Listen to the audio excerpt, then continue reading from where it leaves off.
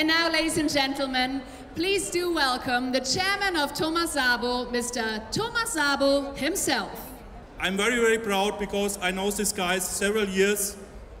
We have a very great performance tonight with Mando Diao from Sweden.